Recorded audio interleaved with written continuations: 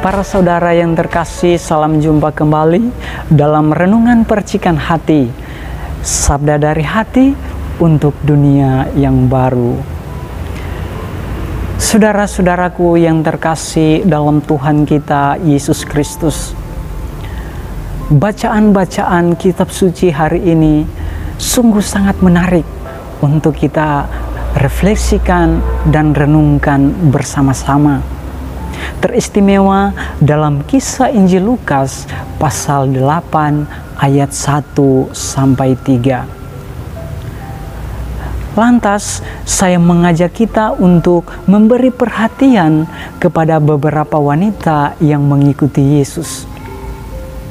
Injil Lukas melukiskan bahwa para wanita itu disembuhkan dari kuasa roh-roh jahat dan berbagai macam penyakit lainnya. Kuasa roh-roh jahat dan penyakit-penyakit merupakan simbol dari penderitaan manusia.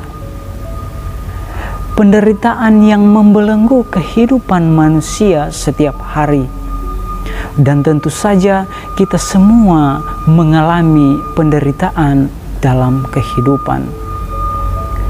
Saudara-saudaraku yang terkasih, menderita sakit, entah itu secara fisik ataupun secara rohani, mau menunjukkan sisi kerapuhan kita manusia, bahwa kita itu lemah.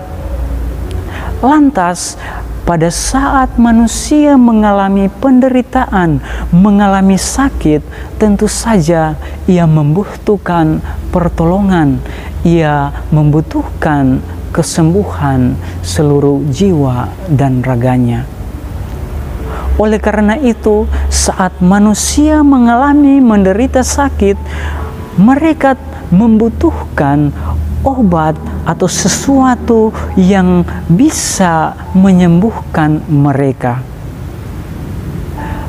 Dan dalam kisah Injil hari ini, Yesus menjadi obat yang mujarab.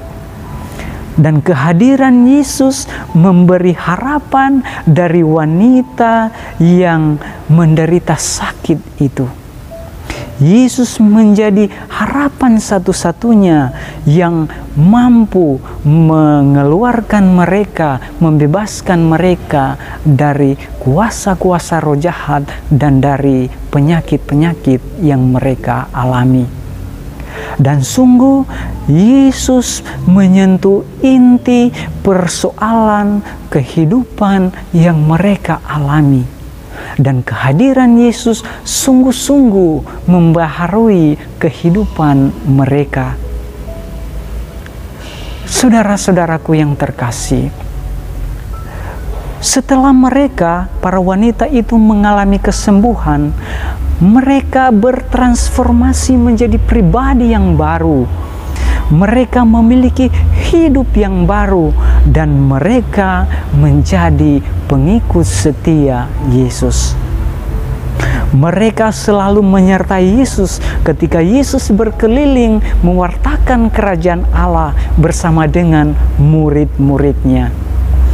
Dan kalau kita tarik dalam konteks bacaan pertama dalam surat Rasul Paulus kepada jemaat di Korintus, mereka ini disebut sebagai orang-orang yang mati dan mengalami kebangkitan hidup. Saudaraku yang terkasih dalam Tuhan kita Yesus Kristus. Di dalam hidup ini, di dalam kehidupan kita, kita tidak pernah lepas dari penderitaan-penderitaan, belenggu-belenggu hidup kita setiap hari, entah itu secara fisik maupun secara rohani.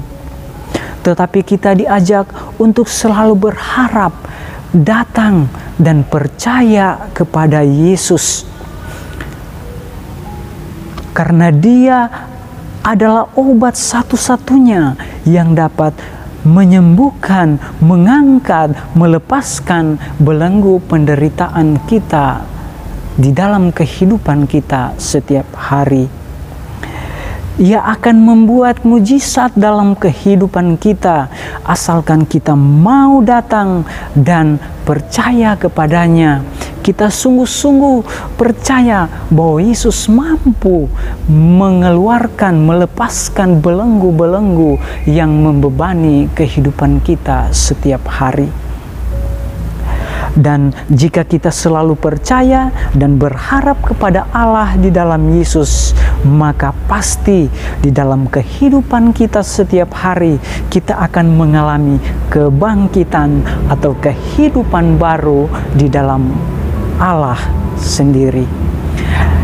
Oleh karena itu, mari kita bersama-sama mengangkat hati kita, menguatkan iman kita untuk sungguh-sungguh percaya bahwa oleh karena Yesus semua belenggu, semua penyakit, penyakit yang kita alami baik itu penyakit-penyakit di dalam batin kita, luka-luka hati kita dan penyakit-penyakit fisik kita Yesus dapat menyembuhkan kita semua.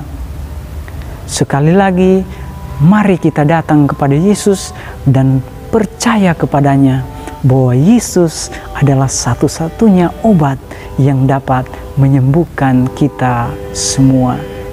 Semoga demikian Tuhan memberkati kita. Amin.